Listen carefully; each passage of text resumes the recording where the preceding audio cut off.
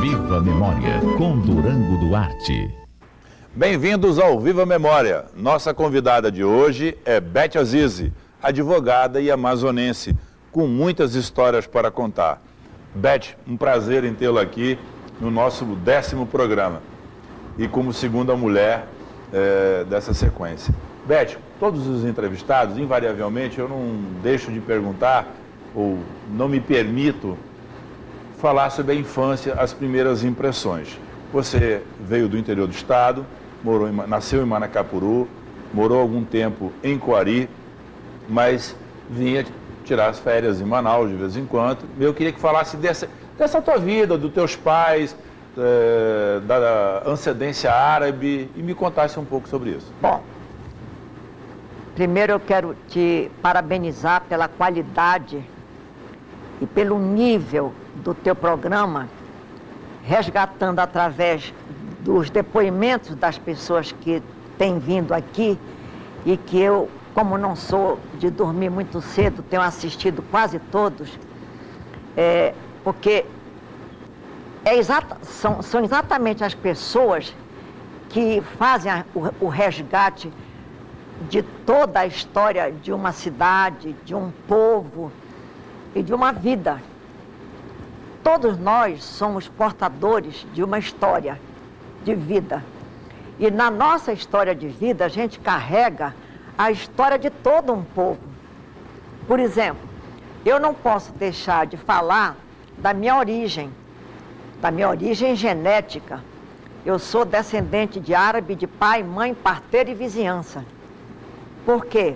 Porque meus pais eram árabes, meus avós árabes, meus bisavós árabes, quer dizer, eu nasci geograficamente na região amazônica e até agradeço a Deus por isso. É, mas eu gostaria mesmo, eu digo com toda sinceridade, de ter podido, de ter nascido e poder e, e ter vivido aonde, meus, aonde tudo começou aonde começou a origem da nossa etnia. Mas a, é, o processo de vida ele é muito, ele é muito rápido. De todas as, de todas as, as civilizações, em todas as civilizações isso acontece. E você sabe que, aliás, eu vou fazer um parênteses que é para te dizer que eu quando te conheci bem rapazinho aqui, eu sabia que tu ias ter, que, que tu ias fazer um trabalho muito bonito. Porque tu sempre foste muito curioso, sempre foste muito cri-cri. Tu sempre procuravas saber das coisas. E é assim que a gente descobre as coisas, transmite, ensina e, e mostra. Quer dizer, você, na verdade, você está aqui como um, um, um agente transmissor dos conhecimentos que te passam e que você se sente na obrigação de passar para quem assiste o teu programa. E todo mundo deveria fazer isso. Eu já não aguento mais ver programa mostrando calçado, mostrando roupa, mostrando comida, mostrando, sabe? Mostrando é, festinha e não sei mais o quê.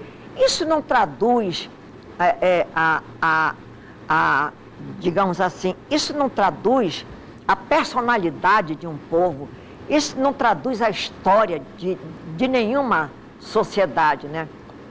Bom, então da sua de, infância, vamos lá então. Depois de te parabenizar, eu Obrigado. quero te dizer o seguinte, que eu, eu, eu nasci em Manacapuru, passei parte da minha infância em Quari, porque minha mãe paria todo ano e não dava conta.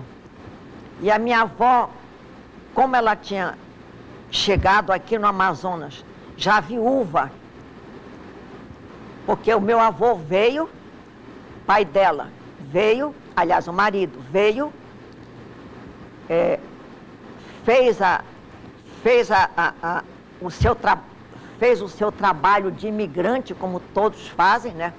lutou muito, conseguiu alguns recursos, aliás, conseguiu bons recursos, mas aí, lamentavelmente, ele, ele, ele, ele adquiriu tuberculose, que naquele, naquela época era muito fácil. E aí ele quis morrer na terra dele, que era o Líbano, que minha avó era síria, e ele era libanês. Agora, olha a história, como é interessante.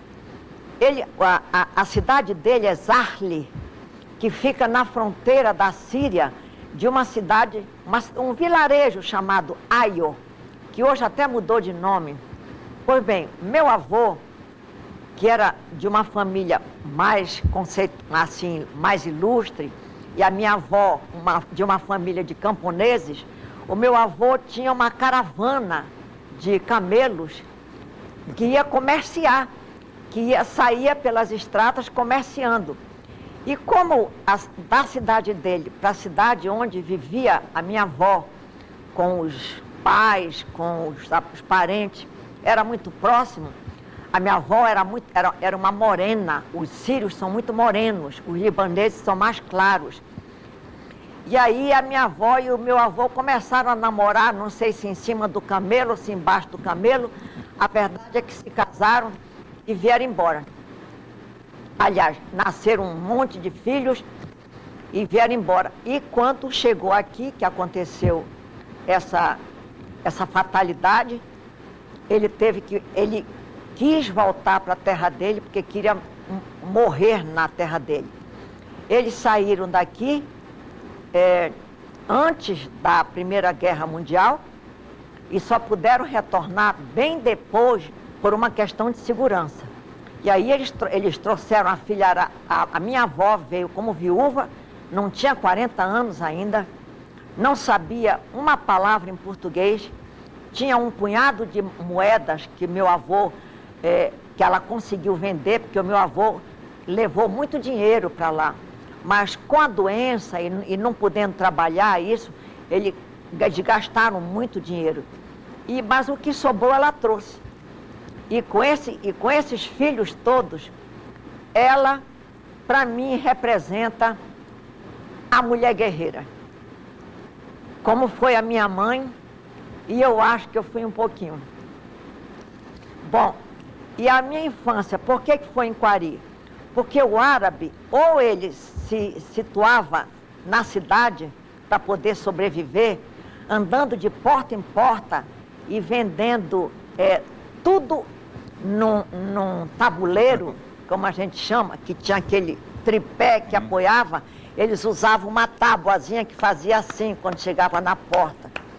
E esse barulho, tec, tec, tec, apelidaram eles, quer dizer, você observa que a discriminação era tanta em relação aos imigrantes, principalmente aos imigrantes que vinham de mais longe e de civilizações mais desconhecidas, como os árabes, os asiáticos de um modo geral, logo encontraram um apelido pejorativo de tec-tec, quer dizer, é como se fosse hoje um camelô andando com, com uma sacola numa porta oferecendo, que eles vendiam desde o, o corte, que é o tecido, para fazer vestido, até a agulha, o pente, é, aí tu, tudo que tu podes imaginar tinha naquele tabuleiro. Às vezes, ele, eles eram jovens, se encantavam com as filhas dos, dos chamados é, brasileiros, natos, né? É, que, que tinham uma certa discriminação com, com os povos que começavam a emigrar para o Brasil. E aí eles acabavam, às vezes, se encantando e começou a miscigenação. Bem, mas eu fui para Quari porque a minha mãe, como eu te disse, paria. Um atrás do outro? Não, dois no ano. Eu nasci em janeiro e a minha irmã nasceu em novembro do mesmo ano. E a gente diz que a gente é quase gêmea. É. Então, a minha mãe me manda para Quari e porque a minha avó, Estava lá. a minha avó, como boa, boa descendente de Fenício, pegou os filhos todos, levou para Quari, e lá eles foram é, começar a, a, a trabalhar nos rios, como meu avô, pai do meu pai, já fazia também. Em barco a remo, barco a volga. Por isso que eles tinham os bíceps muito, muito grandes. Depois começa a melhorar de vida. Aí os ingleses, depois da Segunda Guerra, começaram a vender aquelas sucatas de ferro.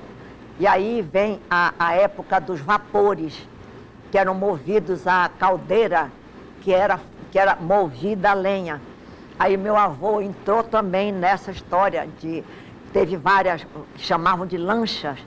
E a, a mais famosa delas foi a Ituí. A Ituí foi a, a chamada Estrela dos Solimões, porque era uma lancha muito bonitinha, muito bonita.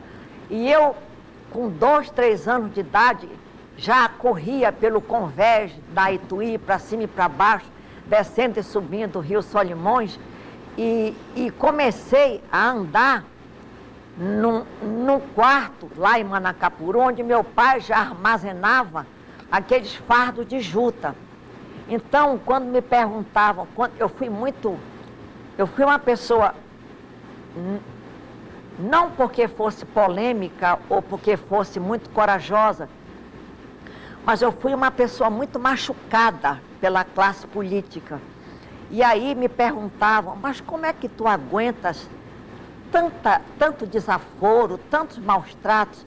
Aí eu dizia, olha, eu consegui aprender a andar, eu consegui aprender a, a, a subir e descer em fardos enormes de jutas, com menos de um ano. Como é que eu não ia enfrentar umas porcarias dessa? Era, era uma. Era, um, era tipo um. Quer dizer, era uma comparação Uma assim, eufêmica, né? Uma analogia. Mas, mas é verdade isso. Eu nasci em Manacapuru e ao lado tinha um quarto que, onde o papai armazenava a juta. Bem, com sete anos eu vim embora para Manaus. Primeira lembrança da cidade. O que, que tu lembra? Cúpula do teatro, Porto. Não, nada, nada, nada. Eu cheguei, eu cheguei numa época de chuva, portanto deveria ser janeiro, com a minha avó, com uma maleta, descendo no carro do porto. Eu me lembro como se fosse hoje, ela pegando um carro velho, preto, que era que devia ser os táxis da época, e, e fui direto para casa que o meu pai já tinha construído na Praça dos Remédios, que era a cidadela dos árabes. Todos eles moravam no mesmo lugar, como uma espécie assim de, de formando uma cidadela para que eles pudessem eh, se autodefender, como uma espécie assim de como se estando todos juntos, eles, eles tivessem mais força para reagir à discriminação que eles sofriam muito. Então, eu da minha casa, que era na Praça dos Remédios, eu só- aí eu me lembro da Praça dos Remédios, da gente brincando ali. Como era época de chuva, devia ser janeiro. E no dia 1 de março, eu entrava no colégio auxiliadora com sete anos de idade, como interna. Então eu não conhecia a cidade. Eu fui conhecer a cidade nas primeiras férias de julho. Aí, aí eu come- a, a minha curiosidade me exigia de saber, mas aonde eu estou? Né? Em que cidade eu estou morando? Por que, que eu vim da selva, do rio, e agora eu estou numa cidade que tem bonde, que tem casas? Porque a minha mãe, como o meu pai já tinha alguns recu algum recurso, ela internava os filhos, principalmente as filhas, que eram mais velhas, para ela poder dar conta de criar o resto. Então era assim. Eu, eu fui a que mais tempo fiquei interna, mas eu só conhecia a cidade nas férias. Aí nas férias eu. Bom, Manaus terminava aqui em Flores, aonde ficava a chapada sírio-libanesa, porque o,